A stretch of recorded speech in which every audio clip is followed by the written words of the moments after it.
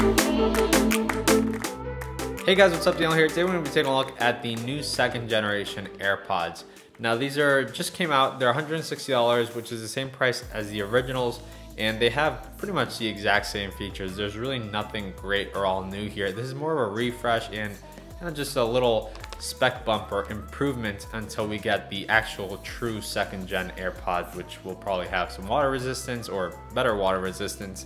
And uh, maybe some new colors or something. And I'm guessing that's gonna come along with the iPhone 11. It makes sense to take it out then with maybe USB-C if they do decide to change it. So that's why we got this refresh version that we're gonna go over here and check out. So here I have my original set and the new set. The cases without the wireless charging feature are the exact same thing. I mean, these might as well be the exact same AirPods. There's nothing that you can see that will tell them apart, except for the fact that my AirPod case is a little yellow tinted and I hadn't really noticed that until I put them side by side. So uh, yeah, my AirPods and the case for the AirPods have gotten a little yellow over time. How I think it's been like almost like two years now since the AirPods came out. And uh, that's bound to happen with plastic. And yeah, no other differences there. If you do get the wireless charging case, it is a little bit larger and stuff, but I don't plan on getting the wireless charging case just because for a product like this, I don't personally need that benefit of docking it and just letting it charge like that. I actually have one of these and I have I went over it with the uh, headphones video. I have a little um, metal dongle adapter thingy that attaches to the bottom and then it allows me to use a magnetic cable kind of like the MagSafe on the older MacBooks to just charge these. So that's what I use to charge all my micro USB devices like my Xbox controller and uh, my uh, keyboard mouse as well as all my lightning devices. So the uh, AirPods and my Magic Keyboard and a couple other things.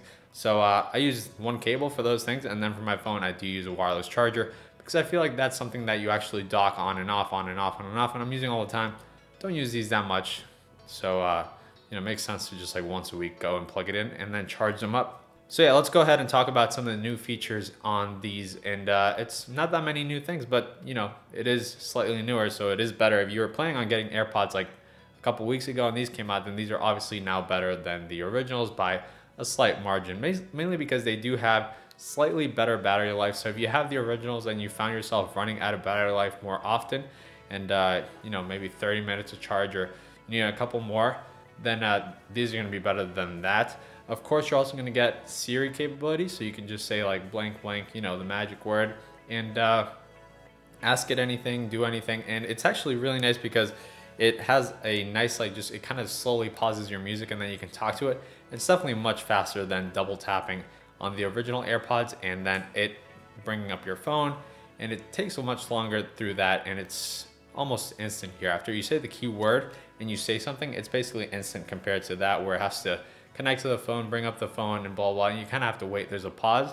It's really not that great of a feature if you have something like an Apple Watch, which you can do basically the same thing. I don't even have to say the keyword. I can just bring it up like this and tell it to skip track or whatever or do something and it's gonna do it. But uh, I could imagine if you're bike riding or something like that, you don't wanna touch anything else. You don't wanna remove the hands from the handlebar or anything. You just say the magic words and uh, you know, you can tell it to do something. So it's definitely nice capability that it can do that.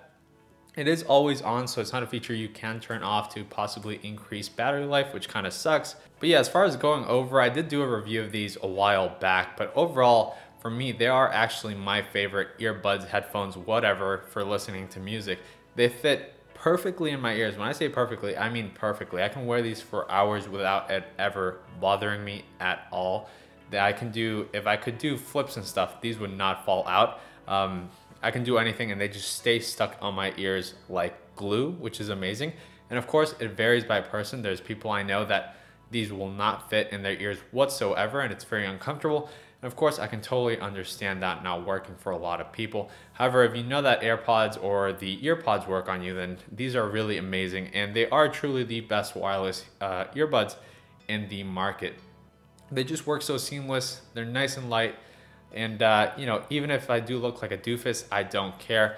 I don't know why so many people do care. I just, you know, if something works for you, don't care what other people think. Use it, enjoy it, and have fun that's what I think about it. You know, I always take them to the gym, take them rock climbing, take them everywhere. I don't see many people with them on. I don't care. I'm really enjoying this. No wires whatsoever. Connect super easy. I can connect them to my watch, leave my phone at home, use my watch with cellular, listen with the AirPods, and everything works so perfectly and with this ecosystem and everything. But yeah, guys, that's pretty much it for this video. If you have any questions, feel free to drop it down below in the comments and I'll get back to you guys there. You can also reach out to me on Twitter at RMRDNL or on Instagram at the same handle. And I always reply there as well when I get the chance. But uh, yeah, those are the new refreshed AirPods. And uh, if you have the first gen, definitely just skip it. It's not really worth it unless you really, really need a little bit more battery life or the uh, command to Siri capability. If you haven't had AirPods and you've been waiting for them to take out new ones, you know, you could buy these, you're really gonna like them, or you could wait a little bit more to see if during a WWDC or one of Apple's fall events coming closer to the iPhone 11, we will get some cool new ones with maybe USB type C or maybe some matte black ones, something along those lines. It's bound to happen. It pretty much has to happen at this point. There's no way they can just ignore something like that. But uh, yeah, thank you guys for watching. I'll catch you guys in the next video. Goodbye.